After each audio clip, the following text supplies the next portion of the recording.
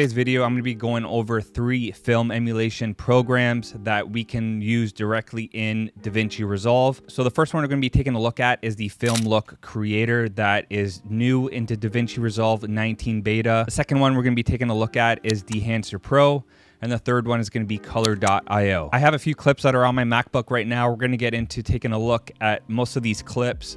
I have a variety of outdoor stuff, cinematic boxing stuff. Some clips are a little bit more moody than others, so we're going to see what kind of look, more of a creative look we can get by using three of these film emulation programs and which one kind of works best and just more control over the other. So yeah, let's get into it the film look creator. So we're gonna go up to the node, transfer that over.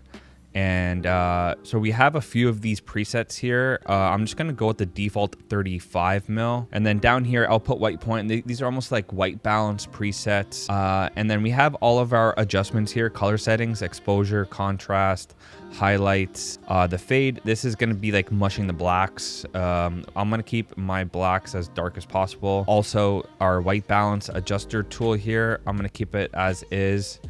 Uh, richness, this is almost like saturation in the colors. As, as we can see that we got the reds here changing. I don't want it too richness. And then the split tone, uh, I'll get to in a second. And then we have all these other adjustments here, which I'm not going to get into. I'm just going to dis disable all of this stuff. I'm just going to, for the sake of this video, I'm just going to be going over more of like the color in these film emulation plugins and all the stuff that we can get out of um, just a color wise in these plugins. So I'm gonna go to enable split tone. Now the amount, this is basically adding like of the split tone we wanna add to our image. I'm gonna keep that at 50. And then if I like what I'm doing in the split tones, I'm gonna adjust it to add more to the amount of the um, hue and pivot. I don't wanna go too much of the amount because then it just, it's kind of ruining our image. So now up here in the color space overrides, we are able to input what log uh, profile we're shooting in, but I can also just adjust my contrast here just to make the image a little bit more darker and pleasing.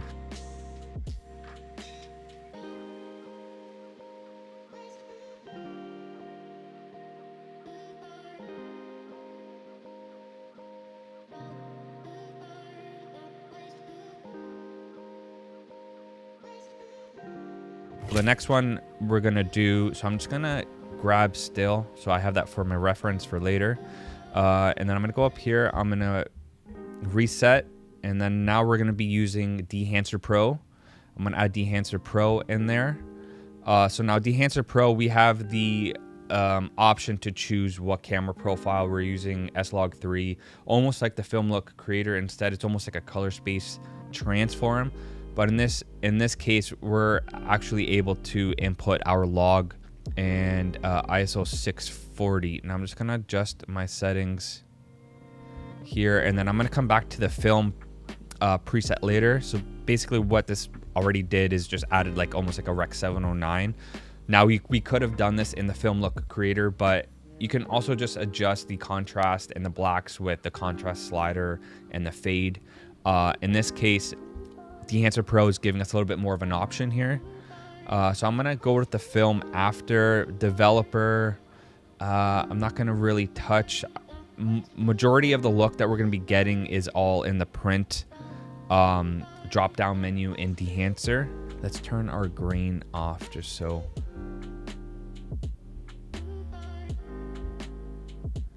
We can see what we're actually doing. Now the color head, this is almost like the same thing as film creator, split tone, but there's a little bit more of the, we have more options here. We have shadow tone, mid tone, and highlight tone. So as we bring this over, we can see it's warming up our image in the highlights. So I like what we have there. Just did this pretty quick. Uh, and then I'm gonna go up here and now this is where we choose our film look. Okay, we're gonna run with the Kodak Supra 100. There's so many limitations we can use, use on each plugin.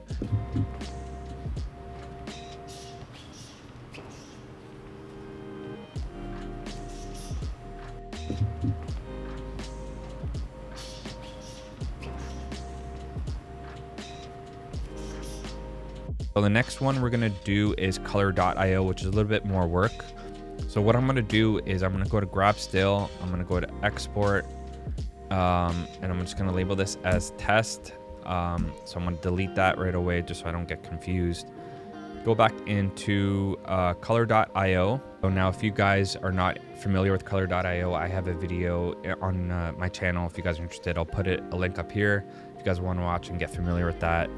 Um, so I'm gonna go to this plus sign and then I'm gonna bring in my still that I just made in Resolve. So now this was shot on the Komodo, which has a log profile of 3G10. So what I'm gonna do is gonna come down here, look for the log, log 3G10, click that, and then right away it's gonna add, um, if I go to no preset, this is gonna be like a Rec 709. Um, so now all, all over here on the side here, we have a whole bunch of film emulation um, presets that we can click and use straight out of this program. Um, I'm just gonna try to find one that I like. I like that one. The Vision 350D is my favorite one. So I'm gonna just take the halation. I'm gonna take the halation and grain off just so we can have a more of a cleaner image. Um, so we're gonna go with that. We're gonna go and edit. Now this is where all the editing is gonna happen. It's a little bit more visualization than Dehancer and Film Look Creator. We have we're able to see colors instead of it being a slider. Um, so if we move this around, we can see, you know, it's clearly affecting our image. Um, blues, greens, we, we're able to adjust the saturations in each color. I mean, we're able to do this in other programs, but it's just easier to see what actual color we're, we're, we're adjusting. So now I'm, I'm happy with this. Might just do some more quick adjustments, just a little bit more saturation. So now when we're done, we're gonna go to export. We're gonna click 3D LUT here. So this is gonna export a 3D LUT for our image. And then I'm gonna come up here. I'm gonna rename this. You gotta make sure the .cube file is still there or .cube text is still there. So I'm gonna go put test for video. I'm gonna copy that. I'm gonna come here into Resolve, go into my Komodo folder that I've made. I'm gonna go to Reveal and Finder. So now because I copied that LUT that I just made, I'm gonna paste it right in there. So I'm gonna come back here, go to refresh. Now it's gonna refresh and, and that LUT should still, should be, that LUT should be here. Um, LUT for test for video. That's what color.io just created for us, or I kind of created using their presets.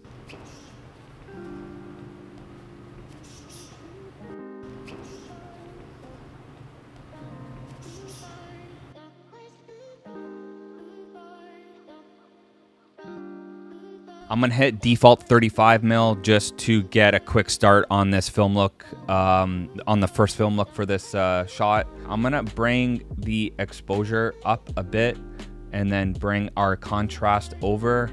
Now the fade tool basically kind of mushes the black in the image. Uh, I want to keep our image more contrasty, make the blacks pop a little bit more. So I'm to keep that all the way at zero. Now white balance tool, we have a little slider here. So I'm just gonna select, I'm gonna keep it at 64. Tint, I'm gonna keep all of this the same. I also don't wanna ruin the skin tones.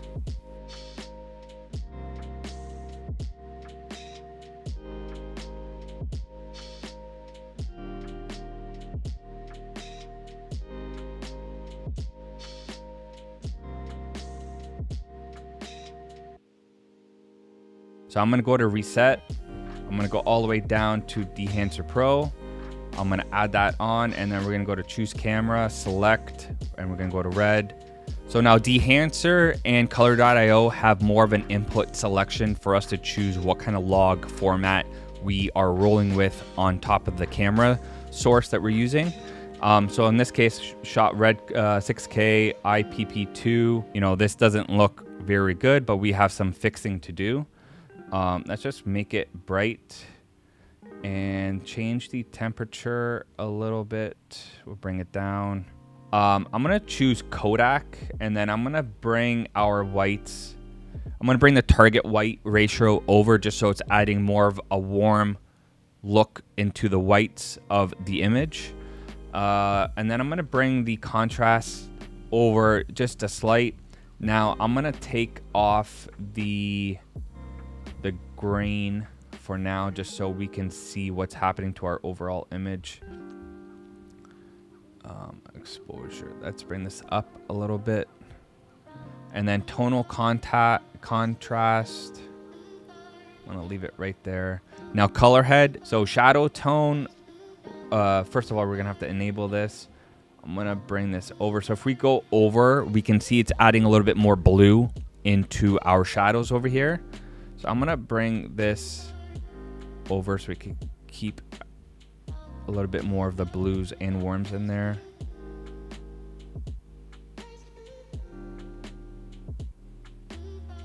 Now this is now the highlight tones are basically only affecting our highlights in the image, which is right here and right here. As we can see, as I slide over, the colors are changing. I like the warm look in there. We're using Fujichrome Velvia Velvia 100. Never used this film preset, um, but I like what it's doing to the image. It's giving us more of like a warm vintage look uh, so I'm gonna go to grab still and I'm just gonna make sure we export this one as well. So now I'm gonna add this one to the top of the screen.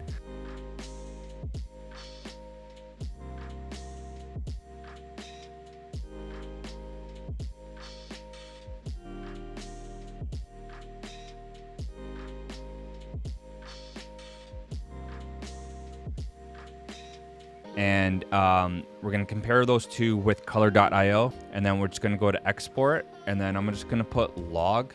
So now what we have to do is go to color.io here on my desktop. Now these are all programs that or all projects that I've been doing. Here I'm going to select red log 3G10. So now we're going to select a film preset that we want to choose from. So I like the BSC cold one. Uh, now we're gonna go over here to the square and we're gonna just kind of fix this up a bit. That's nice right there. And then we can also crush the blacks down here or we can bring them up. Let's bring the green all the way down. And boom. So now the thing is with color.io, we have to go to file, export, bring that in. And then what I'm gonna do is just label this as movie. Go into LUTs. Now this was shot on the Komodo, so I'm gonna go over here, reveal, and I'm gonna paste the movie LUT inside that folder.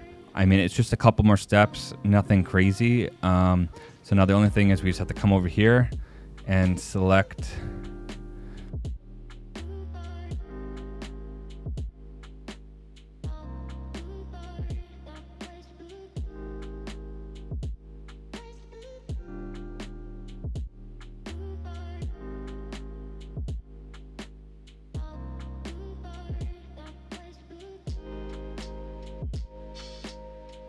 I have a clip here that was shot on the Nikon Z30, and the reason why I'm going to use this clip is because we have an outside shot. We have some, we have a nice blue sky. We have greens. We have buildings. We have different colored cars.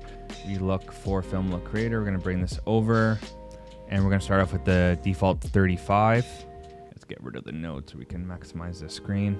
I'm going to change my white balance something a little warmer contrast, a little too contrasty. And by a subtractive saturation, we're gonna bring the saturation up. Richness.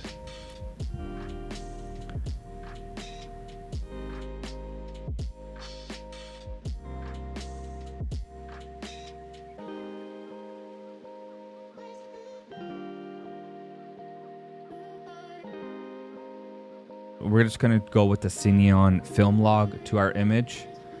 Uh, we're gonna get rid of the node and then I'm gonna choose my film preset after I kind of dial in my look that I want to go for. Turn that on print. Kodak, that's a great looking. So the Kodak, I I love what it's doing to the blues up here. Like we can see like a nice baby blue sky. If we turn that off, we can see a huge difference, even in the greens.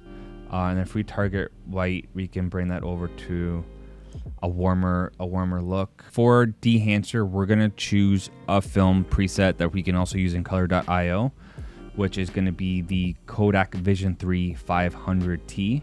Okay, so this is gonna be with the Kodak Vision 3 500T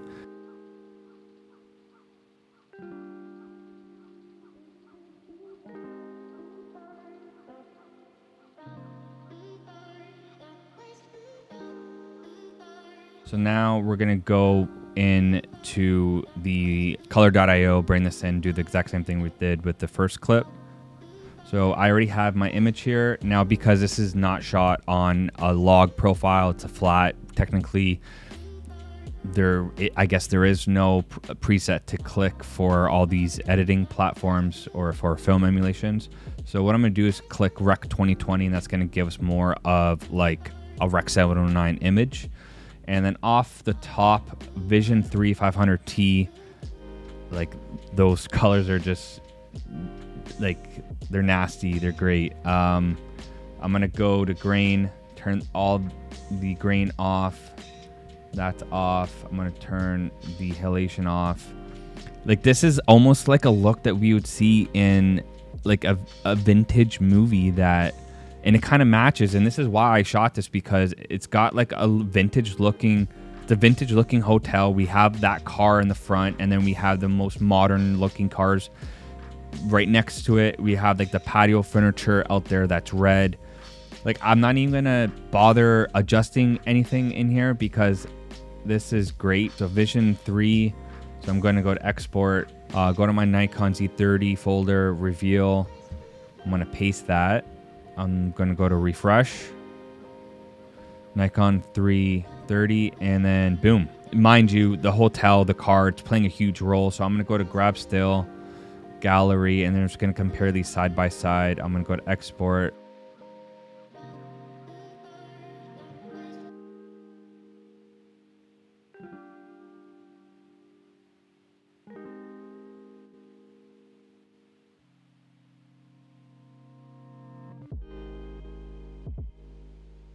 Each plugin is going to have their limitations. Film Look Creator, it's free with DaVinci Resolve 19 beta, which is amazing.